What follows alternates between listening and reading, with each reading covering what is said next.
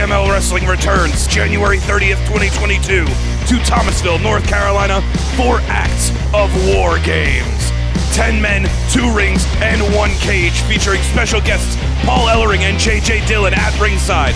Former WrestleCade champion Big Money Matt Hardy in action, and all your favorite AML stars. Tickets are going fast and are only available at AMLWrestling.com.